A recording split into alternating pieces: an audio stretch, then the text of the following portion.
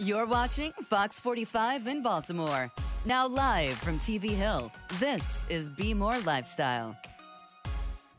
Hey, what's up, Baltimore? It's me, Lady T, and this is Bmore Lifestyle. We're live from Studio B at Fox Baltimore. All right, so joining me today, meteorologist Justin Chambers is here with us, along with our very own Tara Reeves and wine expert Larissa DeBose. Good morning, you guys. Morning. Oh, Good it's so good to see morning. you. Look at it. All right. Let me tell you right now. Your wedding gift to a couple could determine your food choices at a reception. Now, on Reddit's wedding shaming page, someone shared a note to prospective wedding guests asking them to reveal how much they were they were planning on spending on their wedding gift. If you gifted $25 to $500, then you could choose roast chicken, swordfish, sliced steak, or salmon. But if you gifted $2,500, you could choose a two pound lobster and a souvenir champagne goblet. Look at that. Okay, now here's how I would solve this. Now, I would lie, but it's a good lie, okay? I would lie and tell them that I'm gonna give them $2,500. Then I'm gonna ask if I can, then I'm gonna ask if I can do it in installments, okay? If I can't do it in installments, then okay, we'll show up on the day of and I'll still get my goblet. That's all I want. Now, is this a is this a, a, a no, a yay or nay on this? I need to hear from JC, because you know, you're just as trifling as me. What what would you do in this situation? First of all, I'm not telling anybody what I'm getting them. They'll find out when they go through, you know, two or three days after the wedding and dig through all their stuff. So it's a surprise. Yeah, exactly. It's a surprise. and second of all, the food at weddings is nasty anyways. I don't care. What? Like, you, I mean, sometimes it's okay, but Yeah. usually it's banquet food. It's been sitting there in a trough, you know, just in one of those little heating Oh. lamp things. So I don't But even. I've had some good food. I haven't had a lobster at a wedding, but I've had some good wedding food before. I Get a champagne goblet at the liquor store. I'll be good to go, man. I'm good to Okay, go. so you just are like I can get my own, but you, can Yeah. you get a two pound lobster at the liquor store though? No. So let me hear from Tara. Tara, is this something you looking for the two pound lobster? What are you What are you looking to do here? Uh, yes, I think that this is absolutely awful because then you have all the wedding guests like guests walking around thinking, okay, they're just eating the chicken. Like clearly they only paid twenty five dollars for their gift. It's like It's just competition letting now. everyone know that you're cheap or not. I know. I, I hate this. I absolutely hate this. Oh no. my But I'm with you. I'm gonna say that I spent twenty five hundred dollars, get the lobster, and Yeah, then and probably not get them anything because clearly they're awful. Yeah. It's, it's, it- you know what? Larissa is looking like lobster to go. What do you think about this? Listen, you're gonna get the same gift that you were gonna get prior to uh, this invitation. I agree. I mean, everyone can do what they want, but um, no, that's not my ministry. I'm not gonna spend twenty five hundred dollars on a banquet lobster. So you get what you were gonna get, Also, and for a I wedding- prefer the term cost effective. as a- also, right. Yeah, and for a wedding, it's like a hundred So- bucks at the most. You give, give to yeah, I'm a cost effective person. I'm not cheap. yeah, yeah. I mean, you know, if I'm cheap, I'm cheap. It's that, that's that. If I'm cheap, I'm cheap. Whatever. But okay, so obviously we're not getting a lobster and sharing it. All right, now we want you all out there to tell it. Would you tell the couple how much you gifted them to get better meals? Vote now on our website, foxbaltimore.com slash vote. And when you get to the website, make sure you click on that lifestyle tab. You can also vote on our Fox 45 News app. At the end of the show, we're gonna see what everybody thinks. All right, let me tell you, if you head to a local Taco Bell, the menu might be a little sparse. What? The fast food chain currently has a banner at the top of its website reading, Sorry if we can't feed your current crave. According to a company spokesperson, national transportation delays hit Taco Bell really hard. Now, hold up, wait. Now, before you get your forks and pitchforks, I'm not a Taco Bell fan. I'll say that. I know that's shocking. I'm not a Taco Bell fan, but my family is crazy about it. Okay, so this shortage, though, I'm their menu look kind of sparse anyway. Okay, don't attack me. Don't attack me. Okay, but the menu look kind of sparse anyway. Which one of y'all are Taco Bell's fa- Taco Bell fans? Tara, are you a Taco Bell person? Okay, let's go to you as Girl, the expert. every day. Listen, I will hit up Taco Bell every Cinco de Mayo. I eat Taco Bell more than probably all three of you combined. Yes. Like I could eat Taco Bell for every single meal, and now they have breakfast, so we're feeding all the cravings. Big Taco Bell fan, devastated by this news, even more so devastated by this news than the whole Chick Fil A sauce debacle. So mm. I'm saddened by That's, this. You know what? So That's I'm gonna have to deal. try and whip up my own. Yeah, it's but you know what? The, yeah. You know what? There's good news though because ta- uh, not Taco Bell, but Chick Fil A is allowing us to get six sauces again. I just want to throw that out there. Um, Larissa, how are you feeling about Taco Bell and this shortage? Is this devastating for you? it is not devastating. It's been a long time since I've had Taco Bell, and my recollection is that I felt physically like a place that rhymes with Bell. Ooh, girl. And you know what? And there's no wine pairing for that, I don't think. But uh, you know what? Actually, there are wine pairings. There's wine for pairings Taco for Bell. Well, it really depends on what okay, you're going to we'll, get. We'll so that could be a whole nother okay. conversation. We're going to talk about that in the segment. I'm excited. Okay, JC, are you a Taco Bell fan? Is this, so is this devastating? This is uh, a, this is a, this is this. You've touched a nerve here. Okay, you've touched a Did nerve. I lose a friend? Listen. Did I lose a friend? Taco Bell and I have a very fractured relationship on okay. Facebook. It's complicated between Taco Bell and me right now because they got rid of the Mexican pizza. They got rid of the Mexican pizza, and that oh. was the only reason my wife would go to Taco Bell with what? me because she liked the Mexican pizza. Now okay. they don't have that, and now they have less stuff. Taco Bell, what are you doing? Come on, please. I want to give you my money. I want I to wanna, give you I want to give you the money. Please bring back the Mexican pizza for the love of all things. Okay, I gotta try this Mexican pizza because obviously it's a big deal. But you know, hopefully Taco Bell gets it together once again. Thank you guys so much for joining me today. All right, the perfect pairings involve wine and cheese. Still ahead, the mistakes you could be making with your picks. And now is the best time to update your flooring. Next, the deals for Bmore Lifestyle viewers happening right now.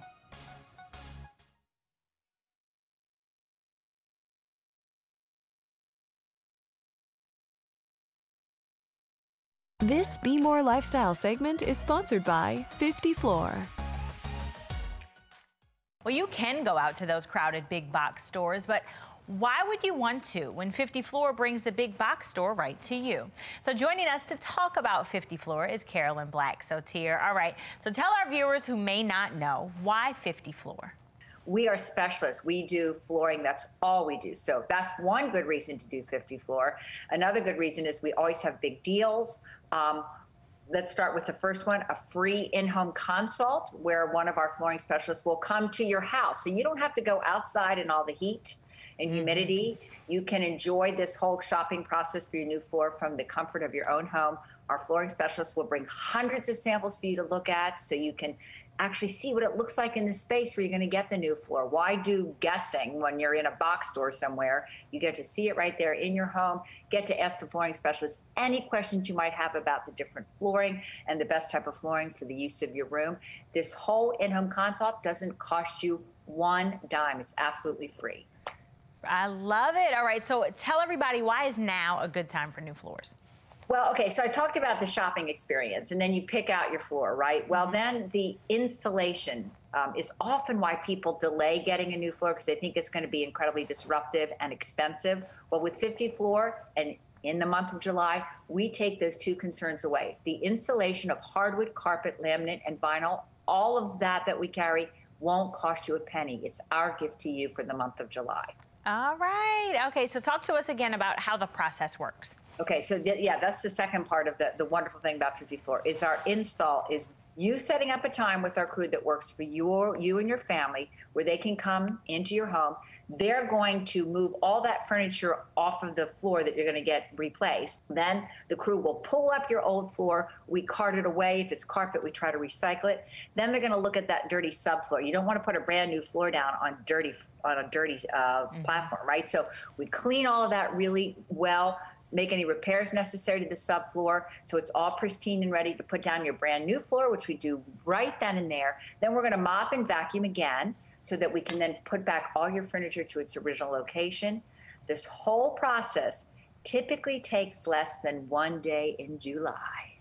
What we're offering is we want you to be able to do that and have your new floor. So we're offering 0% interest financing as long as you pay the balance off in full within the terms of the agreement. Okay, amazing. And uh, Little Birdie told me if you mention Bmore Lifestyle, you can save an additional little chunk of change, right? Yes, we're going to give you an additional $100 off your flooring products. Okay, sounds amazing. Tell all of our viewers where they can go to get more information. Well, you can go to the website or you can just call 54. All right, appreciate you being here as always. A new era in technology is here in Baltimore. Next, how the revolutionary tech works. And Wine and Cheese Day is almost here. Next, the perfect pairings for any occasion. Stay tuned.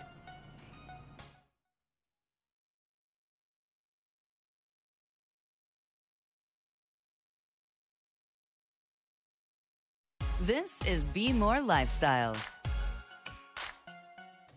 Welcome back. National Wine and Cheese Day is coming up on Sunday. Start preparing your pairings now. Larissa Dubose is a certified wine expert, and she is sharing how we can make the best pairings. Thank you for joining us today, Larissa. I love wine. I'm excited to hear about all of this. So tell, talk. Thank us. you for having me. I'm so excited to be here. It is true. Sunday, July 25th is National Wine and Cheese Day. Who knew that we would devote a day to such an occasion? But here we are. And we want to make sure that you're prepared and that you're ready to enjoy your at home festivities. So, I want to give you a couple tips and clips when it comes to wine and food pairing. And then the number one rule is that you eat and drink what you want.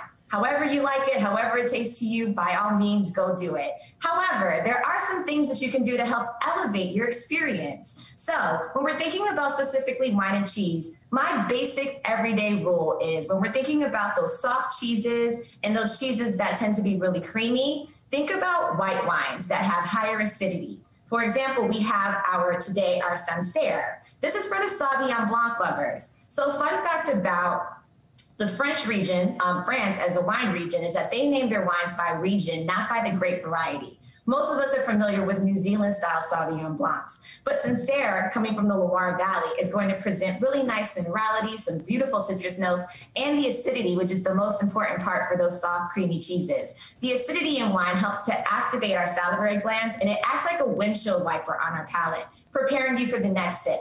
The most classic pairing is going to be goat cheese and brie. And again, all of my cheeses are here, so you can see I actually had to do this research last night. It was that real.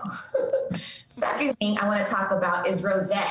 Rosé is every day in my house. I, it's not a seasonal wine for me, but I do understand that this is a wine that tends to be considered seasonal. And Baltimore's own Dane Bergson is the owner of La Fête du Rosé, coming out of southern France. This is a wine that is a blend of Grenache, Syrah, and Mourvedre what his i actually asked him personally what his favorite pairings are. He mentioned a really nice aged gruyere he mentioned, mentioned comté as well as tomme cheese. So then we want to finally wrap it all up with a pretty bow with my red wine drinkers the typical rule of thumb for red wines specifically red wines that have tannin that drying sensation that happens Think about tea that's been steeped for too long. You want to pair those with firmer cheeses. Think about aged cheddar and Gouda. And the, the Cabernet that I'm showing today is In Sheep's Clothing from Washington State. So I always say that wine is my passport. Today, literally within three minutes, I was able to take you to France and then all the way over to the left coast in Washington State. So I really hope that those tips and quips and that you're able to enjoy. Now, did you have any questions for me, my love? Girl, I just realized I've been pairing my wine all wrong, but I do love that you have those ginormous bottles because that I usually finish that in one round, so that's amazing. Uh, can we hang out? I'm like, yes, girl, that is exactly my. Well, where can we go for more information? Tell me that. Absolutely. So my social media handle is at Lotus Vine Wine. My website is thelotusandthevines.com, and super excited to um, connect and keep this party going going. And cheers, y'all. Ooh, cheers to you too. Thanks, Larissa. Thank you. All right, it's a weather alert day today. Meteorologist Justin Chambers is here now with. I'm right here. Well, they, they cut off Lady T because she has to go get some wine and cheese. So it, it's okay. I hear you there, girl. Yes, I know. I was excited about that segment, but I do have to talk about what's going on. Not only the smoky skies that we have out there right now, you can see from our downtown camera, tough to even make out some of the buildings. And again, that really uh, thick wildfire smoke has settled in just over the last couple of days. This thing, all this smoke has traveled all across the country and settled in right here in central Maryland. That's not why we're under weather alert, however. It's the potential for some strong to severe storms, especially as we get later into this afternoon and evening time. And some damaging wind wind gusts is actually going to be something that we're watching. But with that cold front coming through behind the front, that will actually help to clean the air out a little bit and bring us some nicer conditions for Thursday and Friday. Right now on our HD radar, we are picking up a couple of showers right there on I-76 just west of Harrisburg in Pennsylvania.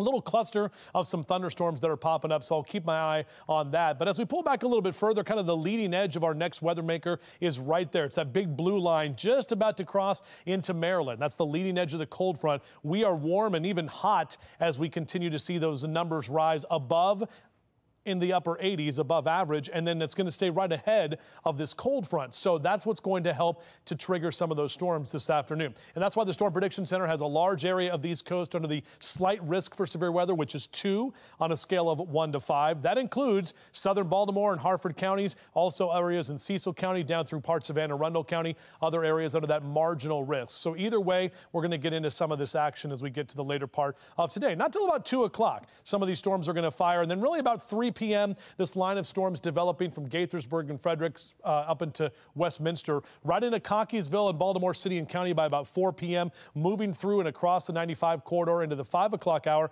By 6, 7 o'clock tonight, most of that is going to be all done. We're de definitely uh, tracking, excuse me, the chance for some gusty wind and some heavy rain as well. This is some of the smoke on our wildfire smoke all the way from the west coast up into the upper levels of the atmosphere and right here into our own backyard as we see here going into the later part of today. That smoke will dissipate, especially behind that cold front that's going to be moving through. So improving conditions for our skies and even for our temperatures tomorrow. We're still on our way to a high of 92 today, but mid to upper 80s Thursday and Friday. We'll keep those 80s going on Saturday and then more storms roll in on Sunday and Monday into next week. All right, a new era in TV technology is launching across America, and viewers in Baltimore are about to get a front row seat with the change, a change that will revolutionize and improve the quality of how we watch TV. Baltimore broadcast television, like you're watching right now on Fox 45, is about to change, making your viewing bigger, better, brighter. Next Gen TV is the technology expanding the choice of what you can watch while dramatically advancing the quality of what you see and hear. This breakthrough expands how you can watch a revolutionary convergence. You will see a whole class of services that that converge. What used to be internet only suddenly is also broadcast, and then the two of them come together. And, and how we frame that and shape that is going to change uh, over the over the coming very few years. The whole face of what what we, even those inside of the industry, call television. A breakthrough with the Baltimore tie. The Sinclair Broadcast Group has developed and is pioneering the next gen advance. Fox 45 General Manager Billy Robbins says his station has always been on the cutting edge. Now, with this new technology, we're able to take that to a whole different level and offer new technology to our consumers for free. We're going to offer a whole new slate of programming, interactive programming, and different opportunities for people to watch TV in ways they've never thought of before. But this is just the beginning. In the future, NextGen will put television in the palm of your hand. We're within reach of everybody, uh, wherever they are. It's not just the big screen in the home, but it's uh, you know, it's the phone in the pocket, it's the it's the tablet um, on the train. Advances that will help during severe weather or other life-threatening situations. It's about emergency alerting. It's about informing. It's about uh, all of those things that local television does uniquely. Uh, but uh, but but there's been this huge disconnect in only serving that big screen on the wall. Bringing free live TV to wherever you are at a high quality when you need it most. In Baltimore, Angela Brown for Fox 45. A couple is offering better meal choices for guests who give more. Vote now on our foxbaltimore.com website and tell us if you would give more just to get more selections. The results are up next.